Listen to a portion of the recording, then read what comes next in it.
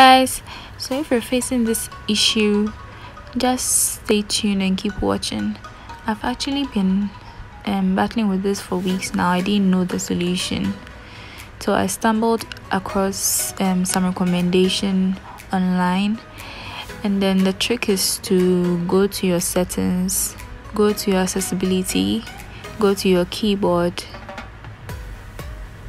and then turn off your full keyboard access yeah when that was done i closed everything and i went back to my instagram.